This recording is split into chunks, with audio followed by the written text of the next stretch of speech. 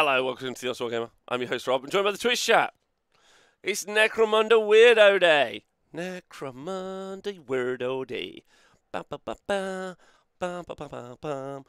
Uh, Necromunda Weirdo Day, and we're going to be looking at Necromunda stuff. We're not going to be painting Necromunda like we were last week. I'm just going to be looking at the rules because honestly, today was a bit of a stress. We're going to look at this article for these cool new minis, um, and then I'm going to tell you about like a little journey I went on this morning, uh, which led me to be able to get my hands on these these publications, uh, the Necromunda rulebooks, digital rulebooks, FYI, uh, which is pretty fun. All right. Uh, so let's get straight on uh, with uh, let's get straight on with this, eh? The Outland Beastmasters are back with more brothersomely burrowing bug buddies, or whatever it says. Uh, Necromunda has a pest control problem. Uh, there they are. uh, the Ashwaste Nomads have a whole warren. So these are these are nomad. This is for the the nomads, right? Okay, so this article, I, I read this article yesterday on stream, but I'm going to just be super clear. Number one, the miniatures are cool. This guy hunts down these little ripperjack things which live in the sand. They call ripperjacks. Uh, uh, no, they're millisaurs. Sorry, these are millisaurs, and they they they hide they hide inside like the sand or something, which is like pretty gross, right? And then they come and like just eat your face off. So it's like Dune. They are cute. They are cute. This guy's wearing one as a as a cloak, which I think is fun. Um, if they weren't enough, there were some breeds of Beastmaster on the loose. They found some other nasty vermin to pal about with, millisaurs. So these millisaurs here, these Icarus invertebrates were likely smuggled onto Necromunda centuries ago, courtesy of the planet's lax import controls. To help clear debris and other critters from mining tunnels, left unchecked, the voracious worms have now spread across much of the planet, from outland ore pits to underhive sump nests. So uh, there we go. They, they've they've everywhere. There's a there's just a shower of them all over the place. Showed a weird Necromunda on Tuesday, built on Wednesday, then painted on Thursday, Friday, Saturday, still painted on Sunday because it takes ages. you can't Craig David Necromunda, please. You can't seven days it. Um, the guy cosplaying as a worm at the same time, and I'm here for it. Okay, Rob's really happy about the guy cosplaying as a worm. That's pretty fun. So he can hang out with the other worms. It's a bit of like a. Uh, this is how the old ones used to look. Lilburn level, love that. Send me that. Oh my god, these are awful. these are awful. Uh, oh, okay. So those are the Ripperjacks. Oh, and there's the Millisaurs, bottom right hand corner. I'll try and make them bigger. Hold on. They're the Millisaurs. Ooh. Okay.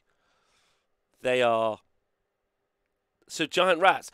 Have we had giant rats released? We've had rats released, but I don't think we've had bomb rats released. But I know that we haven't had giant rats released yet. I'm pretty certain we haven't had giant rats. Can we talk about the weird pyrotechnic on the left here? This is great. Okay, we haven't had the giant rats released, which is exciting for the rat gang in the chat. Rat gang, rat gang. Um, why would you want a rat without a bomb when you could have a rat with a bomb? That's the chat. You completely understand. Uh, can you put a bomb on these worm lads? I like that the chat now like, can I put a bomb on any creature in Necromunda or outside Necromunda? Um, it's a good, it's a good argument and a good, good question. I'm not sure. Um, giant rats have more space for bombs. That's true. You could technically get more bombs on a giant rat versus a regular sized rat. No, you missed a point. Bigger rats, they can carry bigger bombs. Okay, everyone in the chat is at the same same point. All right, good. Uh, not dogs, no bombing doggos. Okay, agreed. We all agree, no doggos, right? Okay, but but millisaurs, fine. They had a pigeon bombs in Warhammer Fantasy. They did have pigeon bombs in Warhammer Fantasy. That was actually really cool. They should bring that back. They should bring back a lot of like medieval nonsense. They should have like I know donkeys. Like, you know, kind of available. Like a donkey's like, all right, I've got to carry a lot of stuff. I guess if you were going into battle, you would probably ride a donkey versus not riding anything.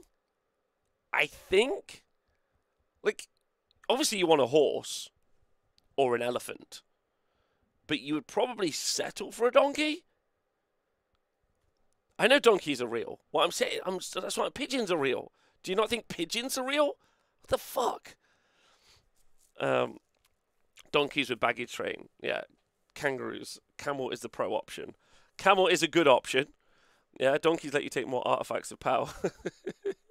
Pigeons are not robots. Birds are. Oh my god. Anyway, these Icarus invertebrates were likely smuggled onto Necromunda centuries ago, courtesy of the planet's lax import control. So we've done this. Their rock skinned hides make Millisaurs a nightmare to shift. Even worse, their ringed maw and robust digestive system allow them to chew through anything put in front of them, be that piles of rocks, metal bulkheads, or unlucky juvets. Um, He-Man rode a tiger. He did. It's correct. A tiger is also a good option. I'm saying there are many animals to mount, but what I'm saying is, is if the old world comes back, or when the old world comes back, they should lean into more just regular. Like, where is like the cow riding cavalry? You know, you're like, uh, not a bad. Like, could you ride a bull into battle? That's what I'm saying. Okay, anyway. These beasties can easily infiltrate the environment, and the Beastmasters train them share the same skill, having learned to wriggle through the tunnels bored by their pets. That's cool. So their pets dig little tunnels, and these little fellas like shufty behind them. All right, that's pretty cool. Um, uh, gangers who think they can put the sturdy rockcrete floors of the hive between them and Hungarian Millisaur after a rude awakening, their burrowing skill lets them freely wriggle under impassable terrain. Wow, okay. Gangs can hire up to two Outland Beastmasters, each with a personal gaggle of beasts, so you can now infest the floor and the ceiling with unpalatable. Okay, so this is where this is where everything became a problem. This is where absolutely, and I want to shout out a couple of people in the chat. I want to shout out Warhammer Nerd, who's currently in the chat. Uh, Colonel Cabby, thanks for resubscribing. Um, I want to shout out him in the chat, uh, and I want to, uh, and I also want to shout out Diadrin uh, who've both helped me out. So this is the problem that um, this is the problem that currently happened.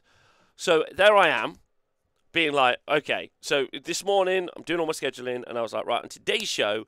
I want to look because they've released so many uh, like miniatures. Like yesterday, I think Grant said, um, uh, Diadrin, sorry, uh, said that uh, the there's still some unreleased um, like unreleased beast kits because obviously we saw the Ripperjacks last week and now we're seeing the Millisaurs. There's some unreleased beast kits from the book, and I'm like, what fucking book? So then I like this morning, just very hilariously, I'm just like, what book are the Ripperjacks in? Nothing. Silence from the internet. I like the best I found actually was that on um, Yak Tribe, which is where you can find all Necromunda kind of information. The best thing I found was on Yak Tribe. You can um, there's like a homebrew campaign book, like that's got like the rules for this stuff, and I was like, right, okay, but where are the official rules? Like you literally can't like. And then someone pointed out, someone pointed out that if you go onto like the web store, if you go onto the web store, and then like, so if you go onto Forge World, like we'll try and do it now actually. So if you go into Forge World, this, so this should work as a process of finding out where rules are, but it's it's bonkers that it's actually this difficult. So you go to Forge World, you go into Box Games, and then you go into Necromunda, right? And then there's the Ripperjack. So there's the, the newly released Ripperjack. So let's open the Ripperjacks, which are an insane price. Um, and then it says, I think in the product description, after the paints, uh, that the pack includes fighters. There we go. Full rules for using Outland Beastmaster in your games can be found in Necromunda Book of the Outland supplement. But, like, as far as I'm aware, that's the only place that this is said. Like, anywhere. Right? Like, the only place. And I was just like, it took me ages. I literally had to, I literally had to do a tweet to find out like I had to literally do a tweet here, and then I also had to like message people I personally knew playing Necromunda to find out, and that is mind-boggling how difficult it is to get into this game. Like that, that like, and then you got to go buy the book, right? Uh, but it's just it's it's just crazy. Uh, I bet it tells you on Wikipedia. It, I wish it did. Uh, hello, fickle fickle brush. Uh, welcome to the chat. Uh, yeah, like it it just doesn't It doesn't say on Wikipedia. I wish it said on Wikipedia. Wikipedia would say. Anyway, so that's kind of my like my like little complaint today because I'm actually like jazzed, like jazzed about Necromunda as you all know at the moment, and I'm just like, this is awful to get into. This is legitimately awful.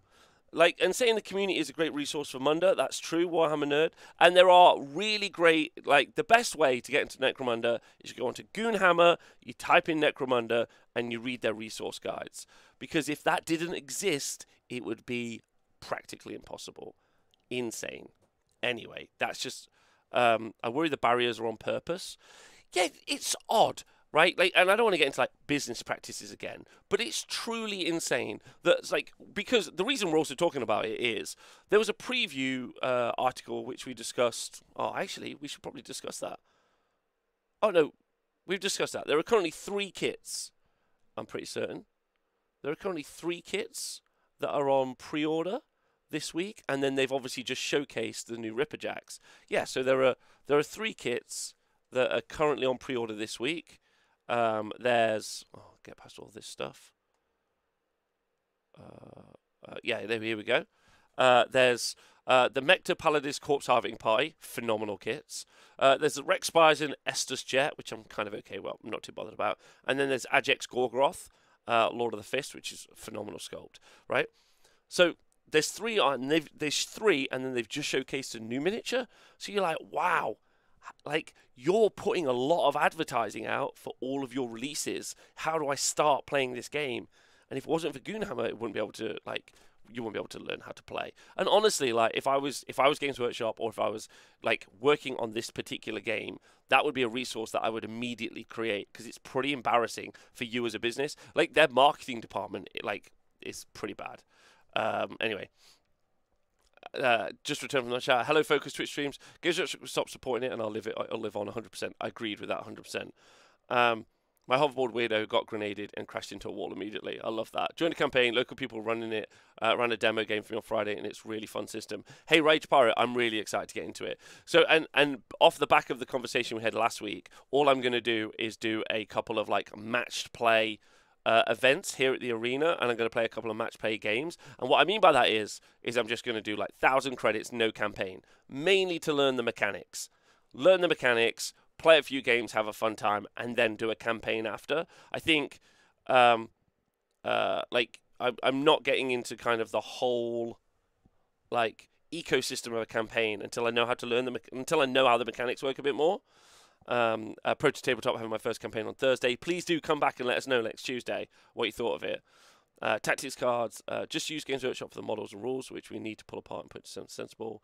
Um, uh, hello, uh, blood clot plots. Anyway, that's my kind of complaint over. Now on with the fun because it's weird. Um, uh, like absolutely like crazy things. Crazy things is all I'm going to say. Now let's just get into it. And again, thank you to Diadrin and Warhammer Nerd who uh, sorted me out. How big is that lad? I reckon he's pretty big. Talking about um, the miniatures. The miniatures just are mind blowing, right? That's the point.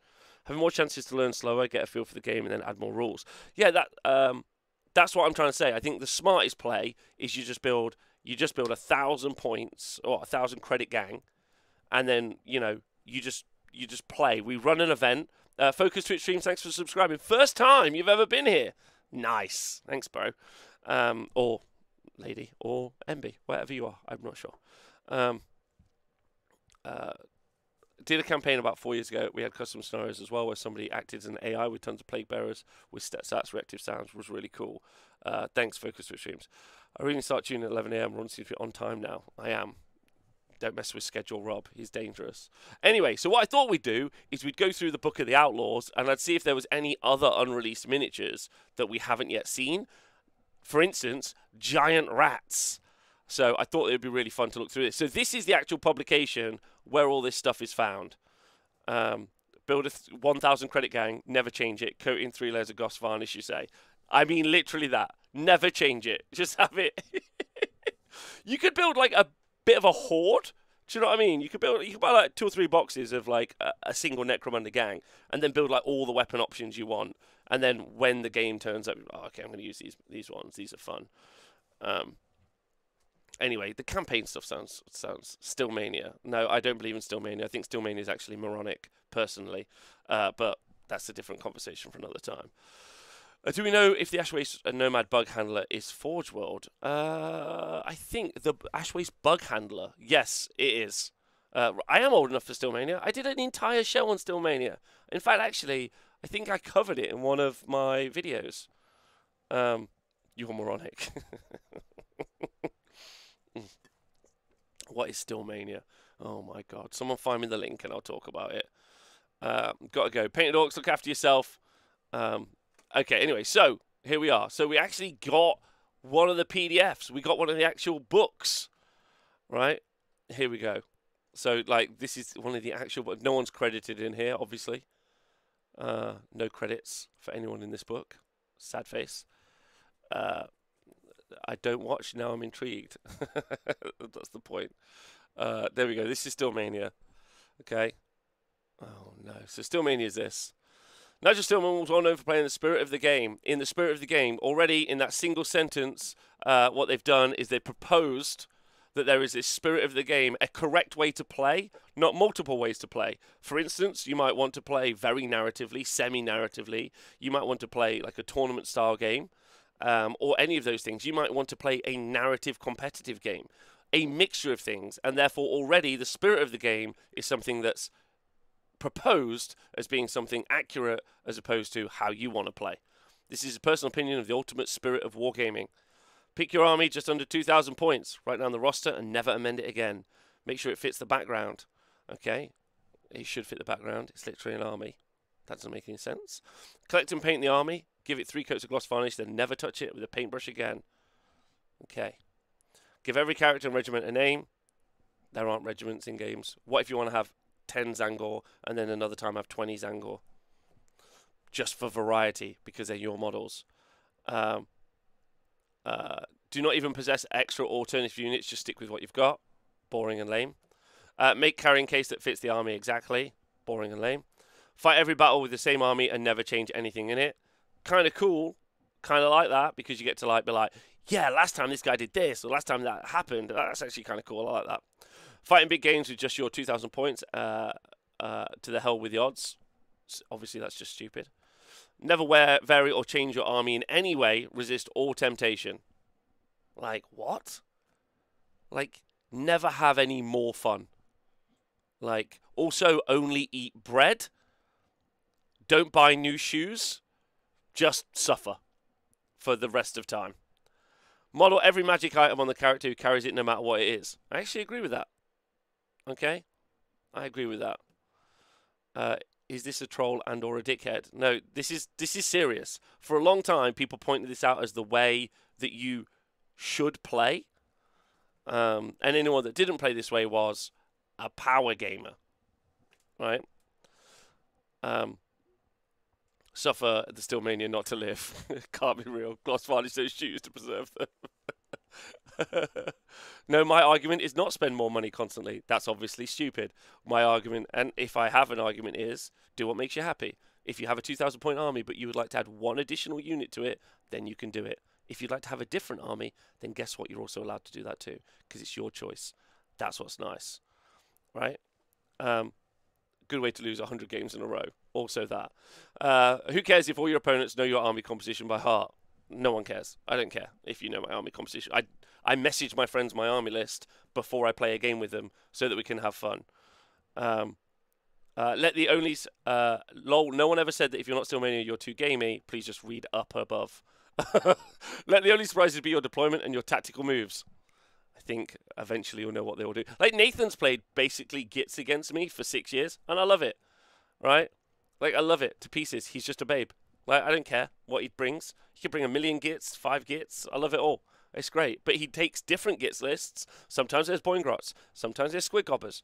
Whatever he takes, I'm happy. Um, shrug off defeat. Learn lessons and keep on practicing. Play for the fun of playing. Uh, when you win, the excellence of your generalship will be, be beyond doubt. Uh, so that's Stillmania. Uh, there you go. Not sure if we need to cover that anymore. Um, but for a long time, because uh, again, for people who don't know, for a long time, Games Workshop were anti anyone playing the game uh, competitively or at a tournament. Uh, and so things like that got bandied around. A load of old people uh, post that picture a lot um, and say things like, "Yeah, real ways." Re- like they're like they're tr- like trad. Like you know how you got trad wives on TikTok? They're trad gamers. they're like trad gamers. Uh, Nathan clearly hates the hobby with all his different units. Exactly. Um, uh, like Nathan is a tinkerer though, always talking through his choices on WhatsApp. That is true, Rob Kelly. That is correct. Um, old people rule. Suck it up, kiddos. Yeah, trad wives. Uh, Pershore, don't make me explain trad wives. Like, there, it's, it's just there. Are, there, there's a there's a as always there's a counterculture. So if you say, um, I think it's progressive that women can vote, there's then there's people who are like, I'm a trad wife. I don't believe I should be able to vote, etc. Um, the ideal way to play 40k is that one picture of that guy who blocked the full white white scars army lining up. That is the correct play to white play. That is the correct way to play Warhammer. I agree 100%. Trad what's? Trad wives. The trad culture movement. Oh my god. This is we're not even close to Necromunda. Trad wives. I'm not. I'm not looking at trad wives with you. That's for Friday. Come back on fuck around Friday and we'll do this whole conversation then. Right? Not today. Rob Tradwives don't exist in Necromunda.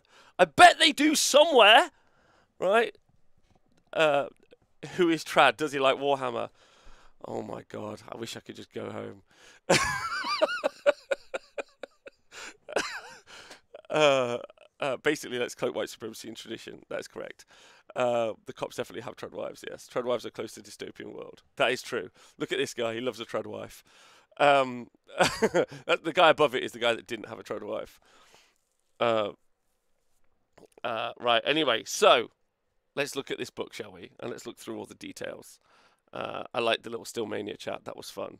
I've done a video on Stillmania before. Um, rad wives in the Ashen Waste. That makes more sense that we've got rad wives. Uh, that's actually quite cool. We could pivot to rad wives who are just radiated to shit. Uh, New Age Tradicals. exactly, Gitly. Uh, still don't think it's real. What, Necromunda or Tradwives? Which one? Uh, right, okay, so there's loads of awesome resources in here. I'm super happy that I finally got hold of this book, so I'm going to read it like maybe tomorrow or later, uh, which is fun. But I thought what we'd skip to, what we'd skip to is is the beasties, the beasties at the bottom, and see if there's any beasties we haven't yet seen. Uh, Necromunda is a hoax. Uh, is that what rad cleansers are for? this is really derailed the show. I don't know what to tell you. This has gone off. It's got a bad start. Okay, the rules for the for the short kings are in here.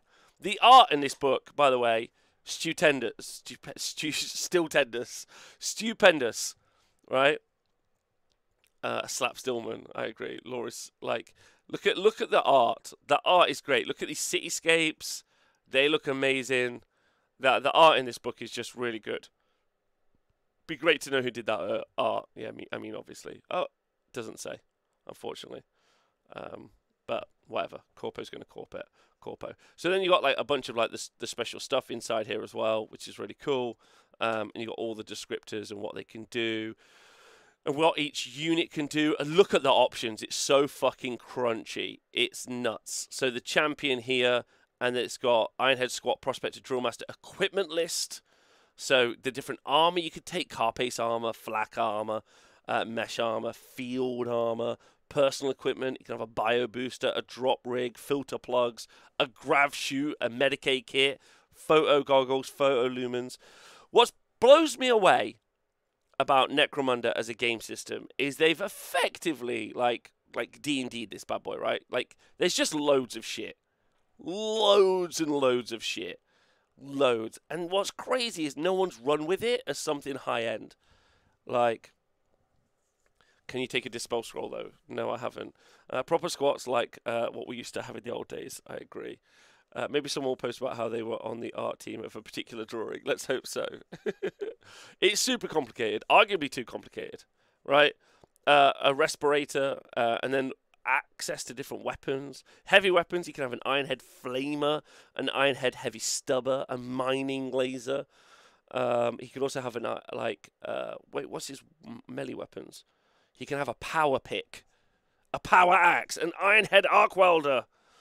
Uh, what's more rulesy, Kills Team or Necromunda? Necromunda by like a significant degree. Can't believe they've not marketed the game that way. Necromunda, loads of shit.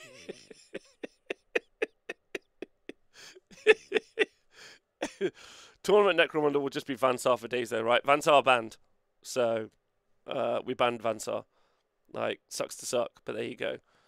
Um, uh, talking about D and D, has anyone seen the nonsense parent company? Yeah, Blank Wizard. We chat. I, I think I chatted about it the other day, but obviously it's nonsense. And what's funny is most people have realised that you don't need um, the OGL. Like you never needed the OGL, so now they're just like, "Lol, I don't need this." I think you almost need to approach Munda like D and D, right down to the book collecting. Di- I see. This is what I agree with Diadrin. It feels utterly unlike a war game.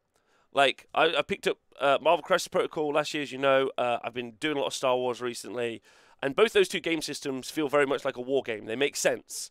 Like you build an army, there's a mission. Um, like there's army builders. Like it all. Ma- I know there's army builders also for Necromunda, but it all makes sense. Like it makes sense. This is not like a war game. This is obviously this is more of an RPG, I would say, than it is anything. But I'm very excited about it being more pick up and playable um, uh, like for you know for pickup games. So just having a thousand point gang, meeting up with someone doing a thousand point gang. I'm sure the reason I don't get to D and D. Listen, I don't want to like uh, I don't want to at anyone, but has anyone joined a D and D campaign that lasted like two weeks? Or has anyone ever joined like a Warhammer, like, hey, we're going to do a thousand point escalation league that's lasted three weeks and no one did it? Like, I'm sure we've all been part of those like failed processes. Like, the hardest thing to do is to get like that organization, right? Uh, like Necromunda is not a war game; it's getting six to eight rowdy people and having a nice time. Rage Pyro, I agree. That's where I'm at. Did you ever have a go at the old Inquisitor game? No, I did not. Um, uh, playing a two-year campaign with the wife during COVID. I'm glad you had a great time with that. That's great. Uh, you could play an RPG one shot. You can play RPG one shot. That's how I'd like to probably approach uh, Necromunda. I'd like to approach Necromunda like an RPG one shot until maybe I have the resources or I have the local group or I have the time to run a Necromunda campaign. Um, pray for Mojo. Yeah, last RPG I joined fell over because of the first session. There we go. Um, like so, yeah, that's a great Pershul. That's a great example. I'd like to play Necromunda as an RPG one shot more than anything else. Yeah, literally bought uh, a a Gang for Necromunda campaign last year, never even got started. Right? Yeah, that's what. That's kind of where I'm at. Right? And it's not because it's a bad game. I just think ultimately it's incredibly crunchy and just very, very wild to get in. I know Diadrin and Warhammer Nerd are both in the chat are huge fans of Necromunda and they run their campaigns. So it's kind of like uh, me saying, "Oh, I reckon D&D is quite crunchy to get into," and then two, like, actual GMs, like game masters, coming in and being like, "Guess what?" uh, there must be simpler rules that work for the minis. The minis are lush. There are Monkey X, that's true. Also, it's great that all you need to really get Necromunda is a £20 box of gang. Hey, Rage Pyro, Pyro, Rage Pyro, sorry. That's what I'm trying to say. It's actually a quite accessible game financially. What you need is a board of terrain. That maybe is a bit of an issue, but you could always just use Coke cans and bottles and cereal boxes and stuff, right? Um, and then you just need a very cheap gang. So, like, financially, it's actually very, very cheap to get into. Um, uh, like Gunnar have made their own much simpler rules. They have budget bolt. I was going to talk about that in a little bit actually. Um, uh, what's what did uh, Cabbage say? Had a D&D campaign last three sessions, but my next one's going on three years now. There you go, Cabbage. Do you know what I mean? Like it all changes up. Um. Anyway, right. So, all right, we're at the Beasties. Okay, this is where I wanted to be. We're at the Beasties. We're at the Beasties. Okay. I mean this I mean, look at this art, bro. Look at this art. This is the one. Um, uh, the game mats are great for kitchen table gaming. Good. Ash Waste has made a sparse board more playable for Munda, so it's a little bit more accessible. Yeah, and I think Diadrin in a lot of ways, like Ash Waste, not that it makes more sense, but like, you know, some little cars and go, it's kind of cool, right? Like, it, it's, it's good, I think. But like the stuff I'm really excited about is all the gangers and hangers on. Every time they release like a new ganger, like not ganger, sorry, a hanger on or like a, a little crew, like the Beastmasters we're about to look at. Um, I'm like, that's awesome. That's cool because that's like a one shot buy, right?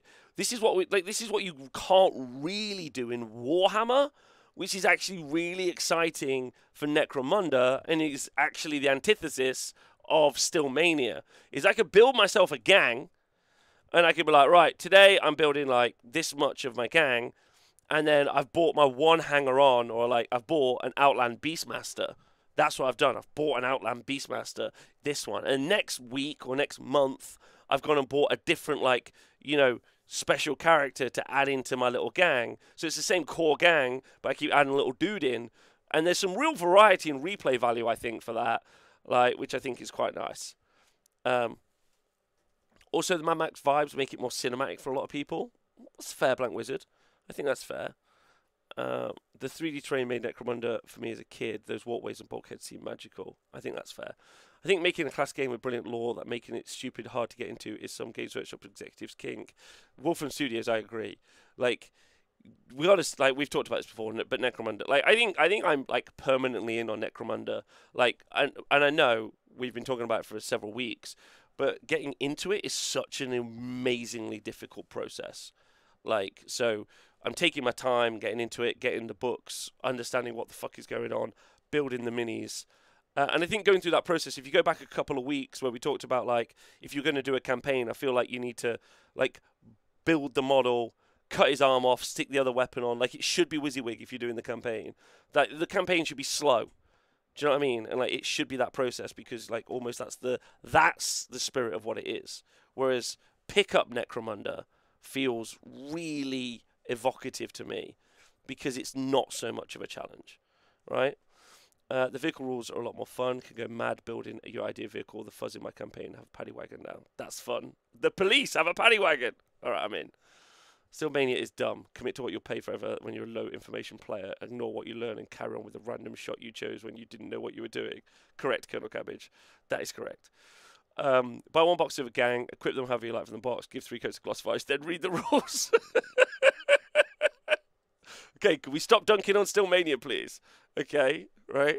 Right, okay. So, Outland Beastmasters, we're finally at couple of weeks into Necromunda. We're finally at a gang page. So, it's going to cost us 100 credits of our 1,000 credits that we start with to have an Outland Beastmaster. Fighters on Necromunda quickly learn to use anything and everything they can to get an edge over their foes. Outland Beastmasters take this ethos to include the countless critters and other creeping, crawly, and biting horrors that infest the lower regions of the hive or live beneath wasteland settlements. Using ancient techniques handed down through the centuries, they employ lures, animal calls, and shock staves to capture and then train everything from the humble hive rat to the massive rock skinned Millisaurs. Millisaurs. Um, okay, they sound pretty cool. For a price, which is 100 credits, a Beastmaster will lend their talents and their critters to a gang, often taking their foes by surprise. So, uh, Necromunda gang dudes in the chat, just clarify that this is correct for me. I build a gang that's 900 credits. I could then pay 100 credits to have an Outland Beastmaster in my gang. Correct or incorrect? That's what I would like to know.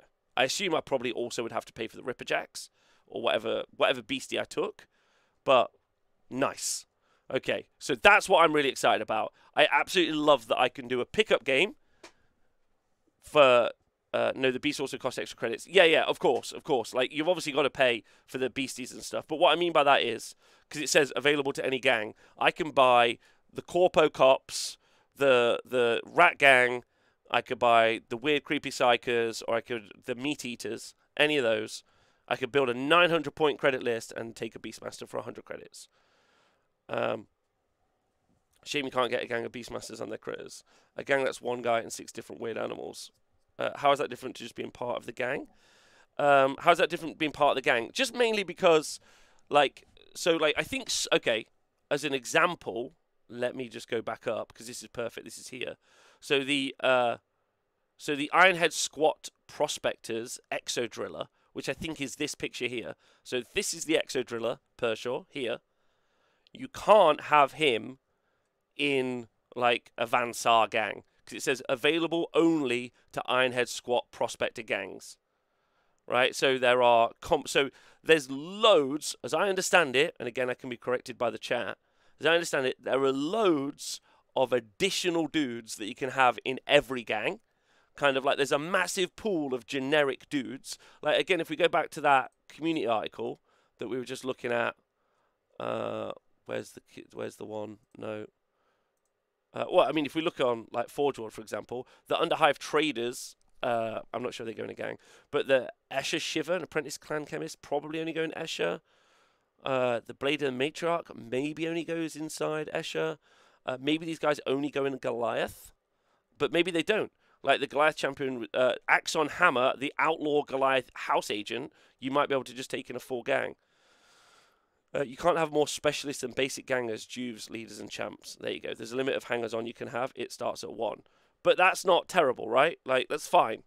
Like I'm not asking to like have a gang of different dudes. I'm just saying that there's loads of extra guys you can add. Uh, so those guys only go in their gang. All right, so that's how it changes basically, per sure. Um, to answer your question, you can just add a dude. Oh, this is Forge just crashed for some reason. Um, let me just find out. But yeah, probably if it looks like it's from Goliath, you could probably only put it in Goliath if it like the propagandist and agitator, I assume you can just put in your army. Um, you know, uh, the slopper and scabber, I assume you could just put in your army. Like uh, the Escher, no, no, they, they probably go in their own one.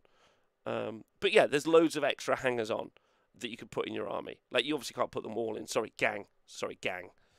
Um, the big question is: Are the vagina or penis monsters? Is you a vagina or penis monster, man? I mean, that's the real question. Like, can you imagine how cool a pickup game would be? You get your little gang and you turn up with some Outland Beastmasters with Ripperjacks. You're like, ah, more of a vagina fella, I see. Right? Forge has crashed for some reason. It's Forge mate. All right. Um, there are gang specific bounty hunters and then there are generic hangers on.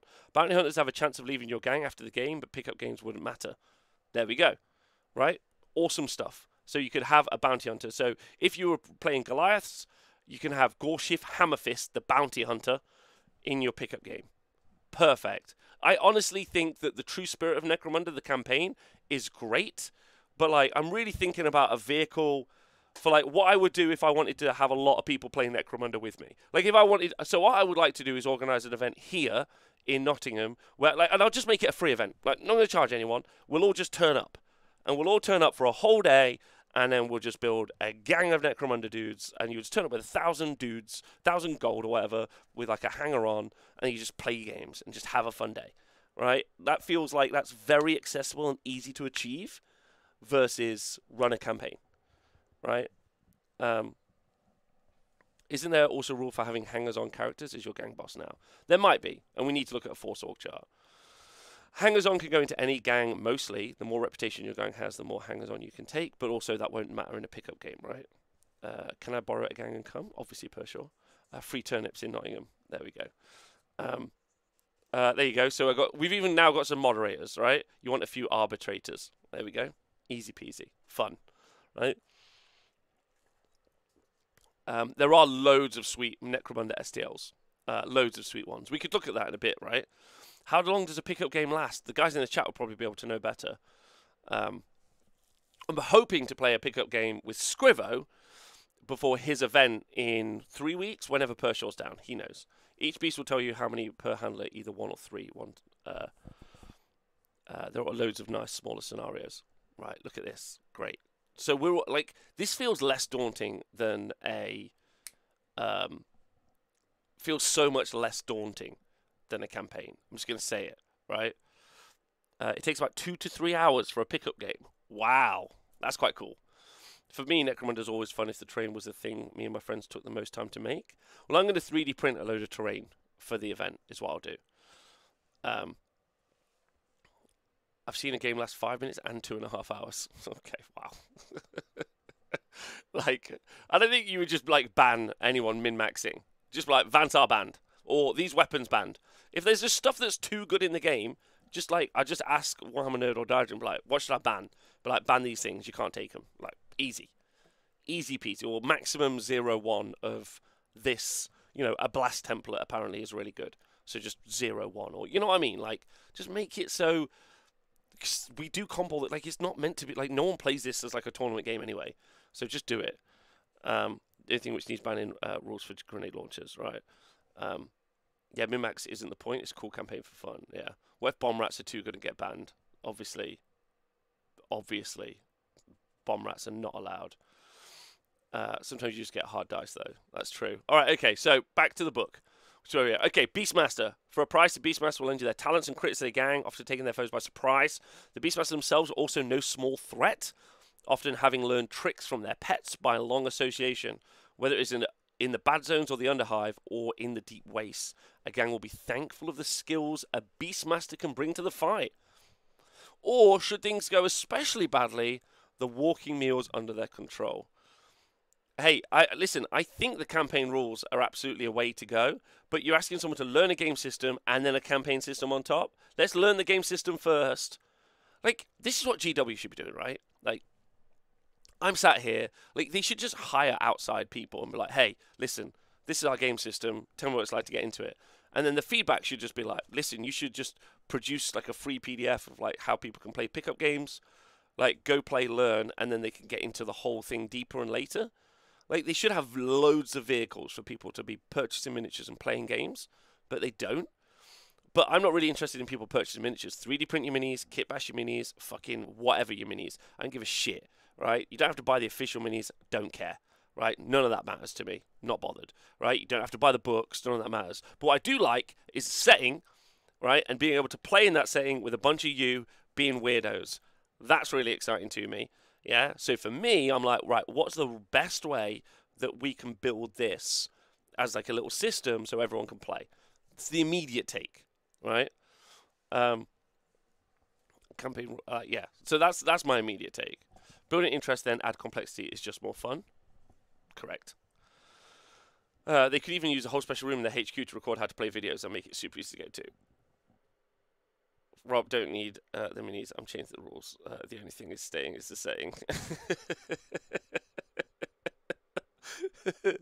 uh, um, Release it feels like a Blood Bowl League versus exhibition games. Exactly. Release the skirmish system for free. Include the rules for what you get. Only the basic gang boxes. Keep campaign stuff. More advanced gang stuff for themselves. Yeah. But anyway, let's talk about this. Uh, whether it's in the bad zones or the underhive, um, walking meals under control. So they move six inches. That feels like that's probably medium speed. Uh, weapon skill four, ballistic skill four, strength three, toughness three, two wounds, uh, initiative of three plus, and one attack. Uh, let me know if I've got any of this stuff wrong. Leadership 7, and I don't know what, clout. They've got 6 plus clout, um, 7 plus will, and 8 plus intelligence. CL is cool. They have a coolness factor. All right, hold on.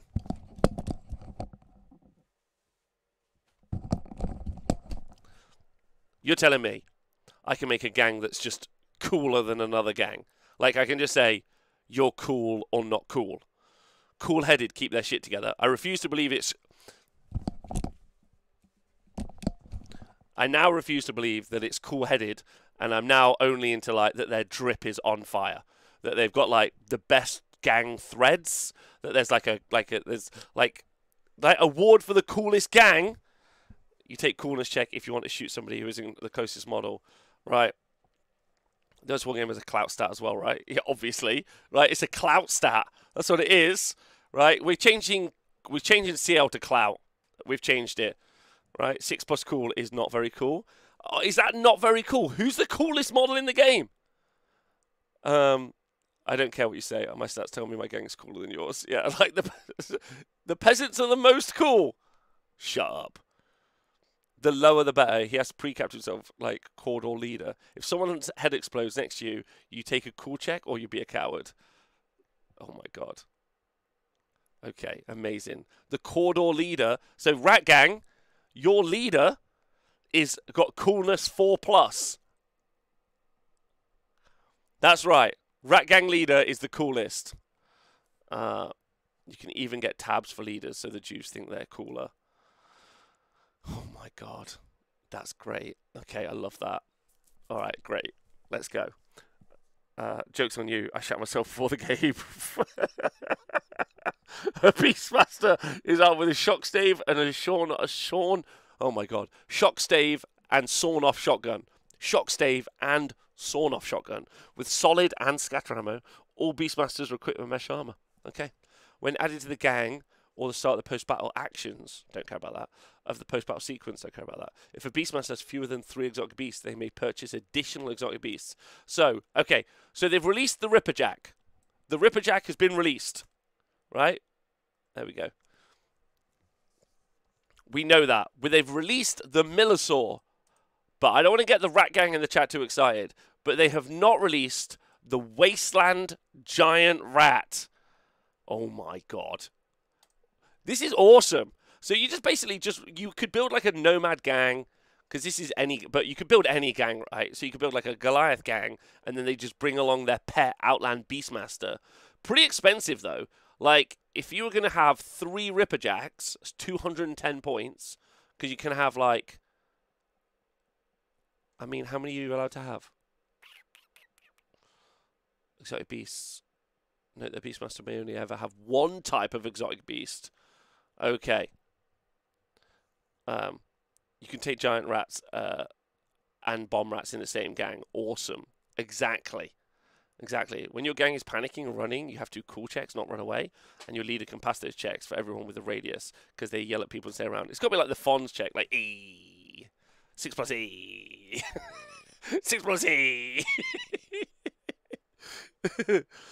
uh, guys, um, Best rules are the rules for resurrection. When your leader dies, then you can come back to life. Goliaths generally have the best cool stats. That's fun. They also have a generic Hive Scum models that let you build a gang based around a special figure rather than a real gang. Love that. Okay, this is great. This is this this now makes more sense to me when I just think of it as just being I don't know why and I don't know if anyone agrees with me or they find it confusing but just knowing that I'm going to build like a regular gang and then just add a dude who's cool and special is funky. Like I know my gang is also cool and special, but like that's fun. I like that. Uh, okay. So I'm allowed one dude. So if I want to go Vagina Beast, Ripperjack, and um, Beastmaster, I'm going to go for 170 credits. Pretty pricey. Nearly 20% of my gang. It's a lot of points. It's a lot of gold. I ain't got a lot of credits, man. I'm just a little poor fella trying to build a gang. 170 credits. Uh, uh, there are hangers on Bruce. Have you thought about maybe 2,000 cred tournament games instead?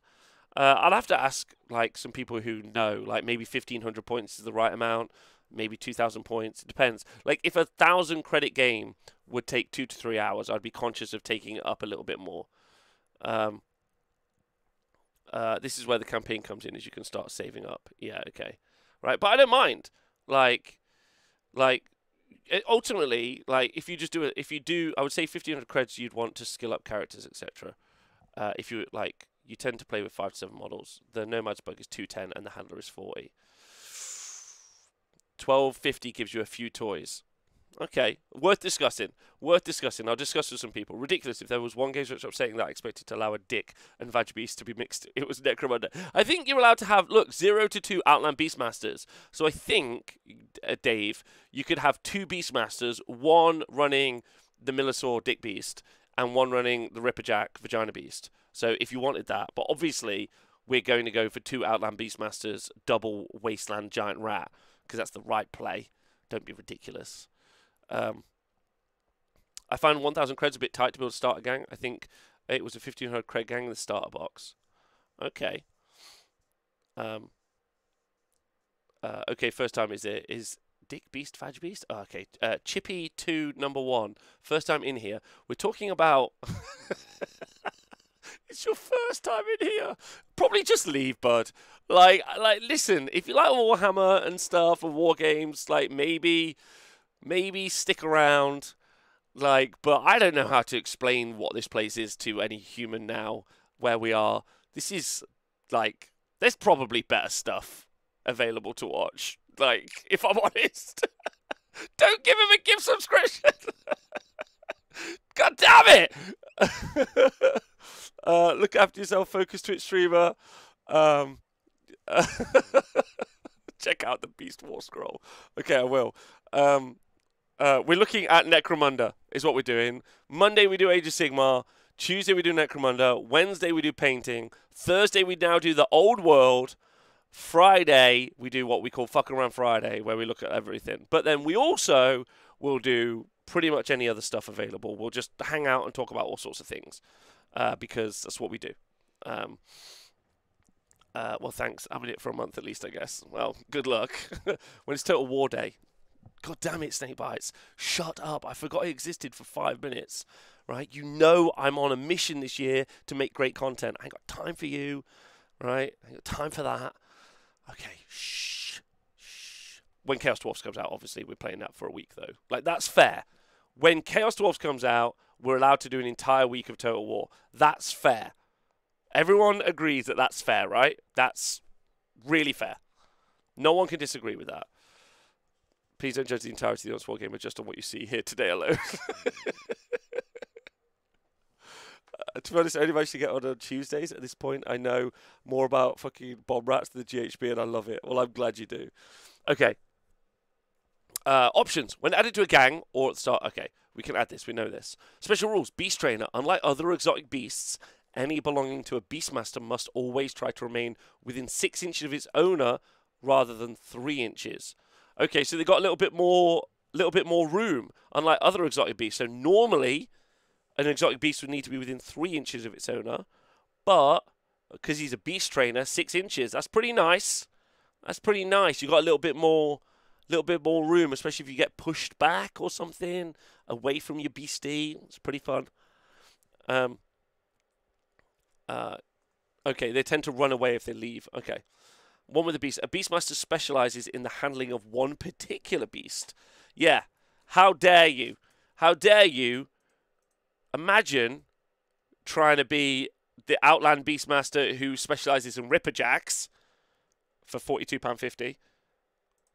You must buy the Outland Beastmaster who is responsible for Millisaurs for £42.50.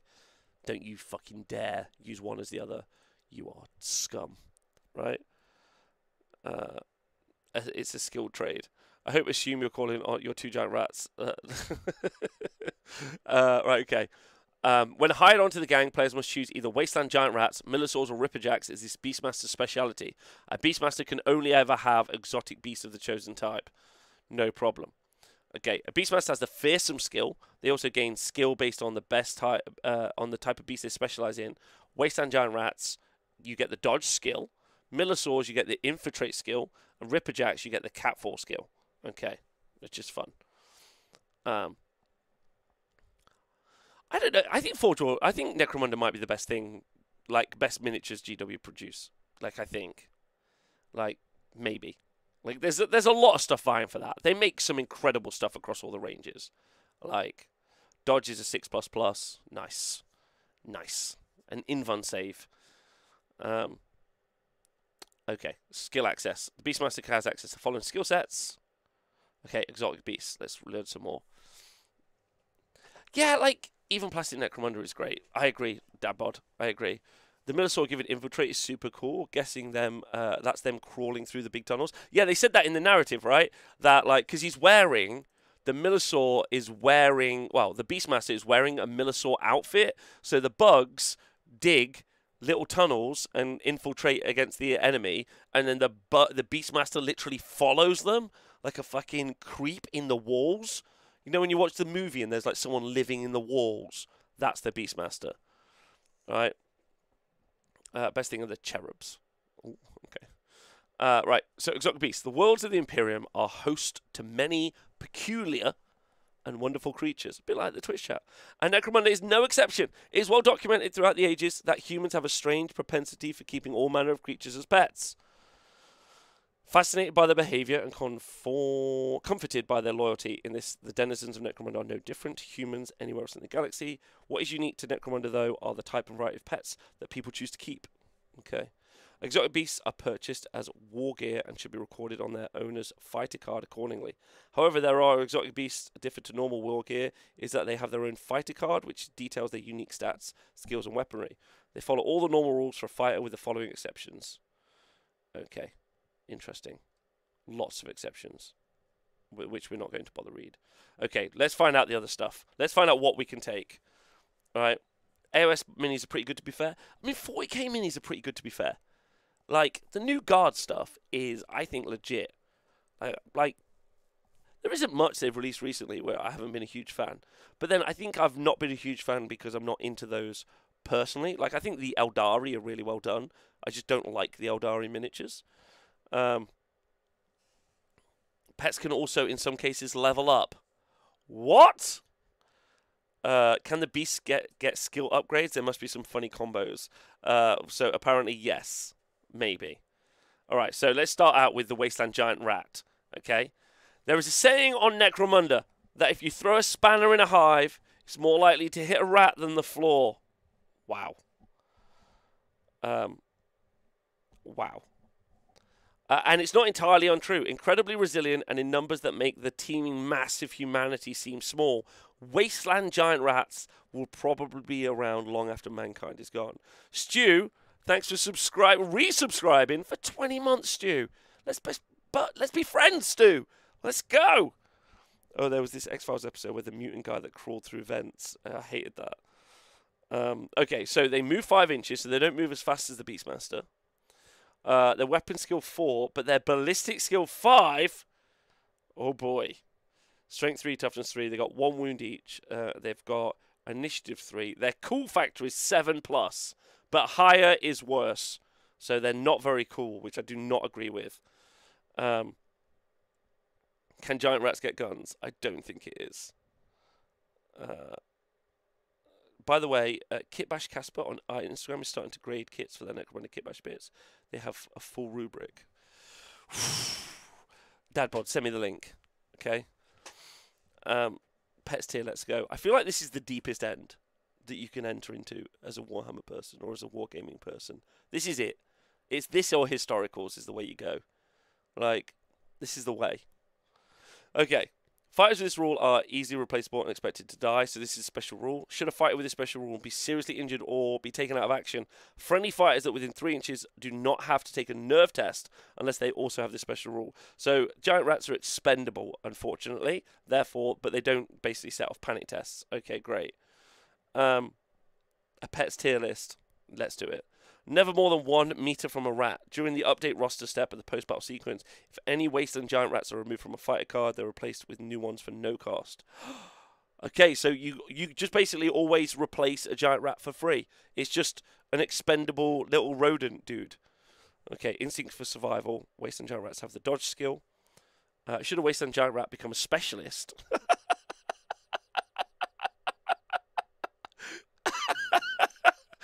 Oh, give him a little bandana. Maybe give him a little jacket. Like, give him a special name. Oh my god, specialist giant rat, I'm in. Um, oh my god. Uh, should a wasteland become a giant specialist? It becomes uh, it has access to the following skill sets: uh, agility and cunning. Okay, pick him up and give him a little present, send him on his way. Exactly. A wasteland giant rat may not purchase weapons or war gear. Boo! A wasteland giant rat is armed with fangs. Get them a little waistcoat. Yeah, look, you're a specialist now, son. Welcome to the military. Welcome to the gang, specialist giant rat. Off you go on your adventure. Um, it, but it's the worst if you shoot someone, miss them, and the stray bullet hits your own rat. Sad. Give that rat a wage. Yeah, that, that rat deserves an income, right? Uh, okay. Right, so Millisaur, next. Uh, can we just, how do we feel about getting a specialist rat? I feel like we're in on specialist rat. This is pretty good. Uh, uh, you would have to give a skilled up rat, uh, you'd have to name a skilled up rat Jean Claude Van Damme. Oh my god. Uh, hold on, Dadbod has sent me a link to something. I'm not sure what it is at the moment. Someone is doing Blooded Kill Team Kit Bashing Review. Okay, that is a, that's intense. But oh my god, number of sprues, forty heads for ten models. Okay, this is a lot. I'm coming back to follow. I'm coming back to that in a bit. Right. Okay. This is Necromunda is too weird for me. It's too deep. it's too deep. Uh, job, there's right, giant rat STLs. Let's go. Obviously, um, we'll do that. But we need to go past rats. We need to move on. We need to go to the Millisaur, Penis Beast. Probably brought to Necromunda long ago to help with mining or underground vermin. Millisaurs have spread across much of the planet. Rock-skinned worms. They burrow into everything and are almost impossible to shift once they lay claim to an area. Right? They move six, which is good. Weapon skill four. Uh, again, ballistic skill five. They've got two wounds each, and they've got two attacks each. Okay, nice.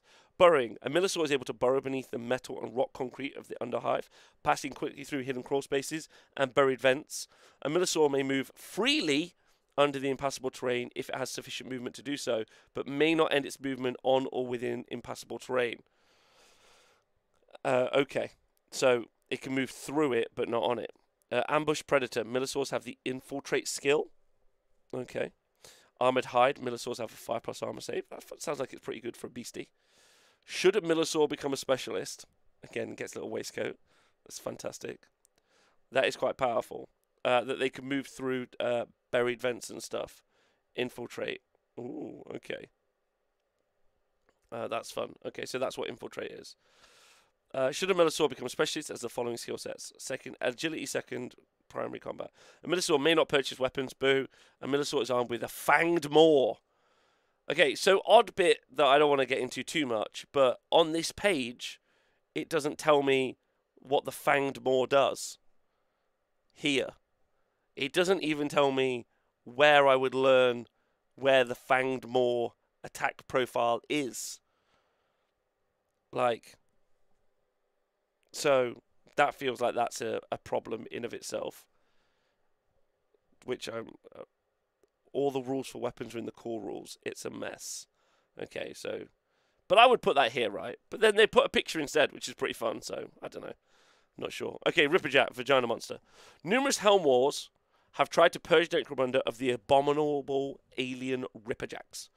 Though they are now probably as much a part of the world as gangs and corpse starch, flying fanged horrors, they are the reason the smart gangers scan the ceiling before entering an abandoned dome. Uh, they move seven inches, so pretty fast. Uh, they are not good at shooting, finally. Uh, ballistic skill six, but weapon skill four. Um, two attacks each, two wounds. Uh, uh, Ripperjack's not as good as using guns as rats. See you later, bud. Um, right, so a Ripperjack ignores all terrain, may move freely between levels without restriction, and can never fall. It may not, however, ignore impassable terrain. Okay. Um, Solitary Hunter, Ripperjack never gains the benefit of an assist or grants assist to other fighters. So it's just a little solo warrior. Enveloping attack, an enemy fighter engaged by Ripperjack suffers minus two modifier to any initiative checks made to the retreat basic action. In addition, any reaction attacks made against Ripperjack suffer an additional minus one to hit. Ooh. Um, thank you, Cross-eyed Long Strike. Uh, hello, Terry. A Ripperjack may not purchase weapons, and you can have a specialist Ripperjack. Okay. Hot. Into the Magna Forums. What is this? The Wasteland Workshop. So the next thing is about vehicles and building vehicles. Choose a base vehicle template, purchase vehicle upgrades, and then purchase war gear. So like this is this is how you build your big trucks, right? The big trucks here, uh, and then you you either get a light vehicle, a medium vehicle is 130 credits, a walker um, is in here as well. There's they're not a heavy vehicle, only a medium vehicle. Uh, uh, there's a comprehensive rules PDF on 1D4, but it's a 490 pages.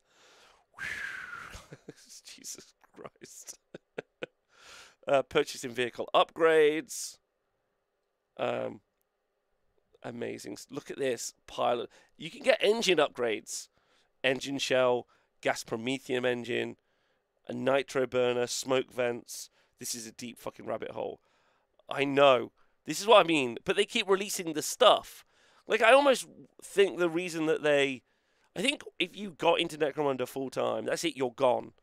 They can't market. Like, the right thing for Games Workshop to do is create loads of very easy to get into games that you can pick up, play, buy, pick up, play, play, move on, get the next thing for that game, get into the other game. But Necromunda is like to prepare to prepare to be doomed. You are doomed into this forever. Like there's all the rules for the vehicles. This is a lot. This is a lot. Oh my god. Vehicle war gear. The vehicle rules are a whole thing. Your car can break down. You repair it on the go. Like what? Yeah. Booby tracked fuel tanks, body spikes, headlights, a kill switch. If the vehicle is wrecked as a result of the hit engine, subtract one from the lasting damage table roll. Smoke launchers, wheel scythes, flare launchers. Um, like so many crazy things. Uh, Rage Pyro. The ultimate rules. Oh my god. What a good link. The Necromunda Ultimate Rules. Intro and acknowledgements. Change log. A changelog. Amazing. The Ultimate Rules. Part 1 How to Play. This is a thousand pages long! 1,000 pages long! Are you fucking joking? It's a thousand pages!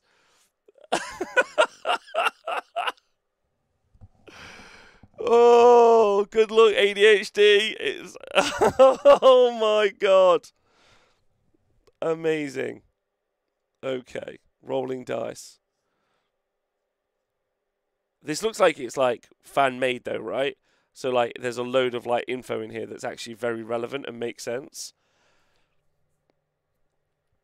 Uh, good lord, the reason for Ritalin.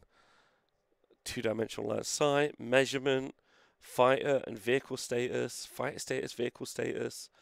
Okay, what fighter status can we have? Active, engaged, uh, prone, seriously injured. Common conditions, ready, broken, out of ammo, blaze. We're at page 23. Okay, lots to learn. Okay, well, we're going to leave Necromunda Tuesday here. Being excited about the game. Uh, and please do join us again next week for more Necromunda Tuesday.